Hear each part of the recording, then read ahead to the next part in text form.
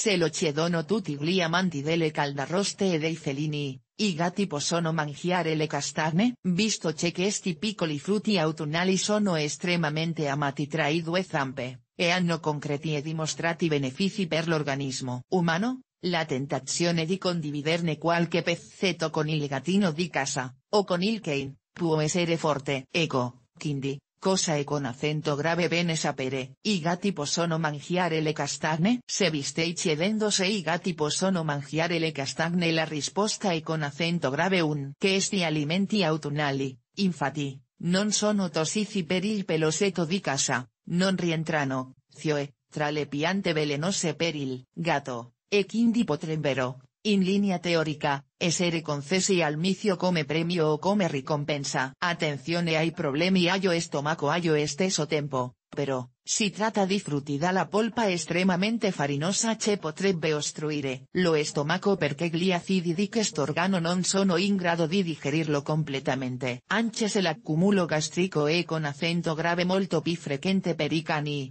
non è con accento grave comunque del tutto da escludere nemmeno per i gatti. Le conseguenze del consumo le castagne, infatti, data la loro consistenza potrebbero addirittura, nel caso di un consumo in quantità eccessive, ostacolare l'espulsione fisiologica delle feci costringendo il micio a doversi sottoporre ad un intervento chirurgico per lo svuotamento manuale dello stomaco. Questa ipotesi, ovviamente, è con accento grave molto rara, ma non impossibile, e, anche se potrebbe verificarsi solo in caso di consumo massiccio e prolungato, e con accento grave bene non sottovalutarla completamente. Se il gatto mangia le castagne, attenzione a, detto questo, comunque, se il gatto mangia le castagne non è con accento grave il caso di preoccuparsi eccessivamente, ma è con accento grave indispensabile vegliare attentamente sulla quantità e optare per la moderazione. La quantità di castagne date ai gatti una sola castagna, o, ancora meglio,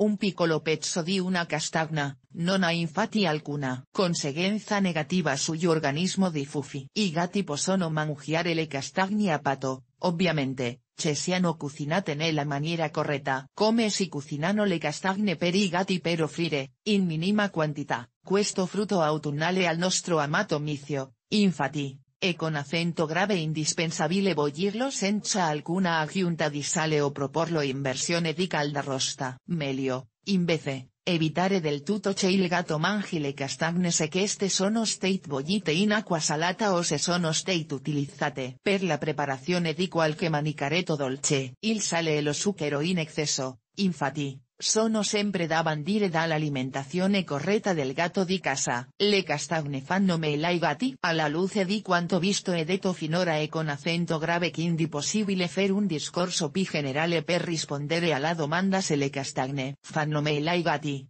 o no. Come si diceva, i gatti possono mangiare le castagne perché non si tratta di un alimento considerato tossico o pericoloso. Tautcord per la salute e per il benessere de chiamato gattino domestico. L'importante, però, è con accento grave come sempre fare attenzione alla quantità di questo alimento quando viene proposto al nostro gattino, come avviene comunemente per tanti altri cibi, infatti, il segreto per occuparsi al meglio della salute del miceto domestico è con accento grave quello di non excedere mai con le quantità di un alimento specifico. Quando le dosi restano modeste e il gatto viene tenuto comunque sotto il controllo attento del suo padrone, non che motivo di preoccuparsi. D'altra parte questa è con accento grave una considerazione che vale per ogni genere di pietanza da inserire nella dieta abituale del tanto amato felino. Cosa tenere in considerazione nella scelta degli alimenti per i gatti? L'alimentazione di Fufi, infatti, deve sempre adattarsi al suo stato di salute generale, ma anche alla sua età e alle sue abitudini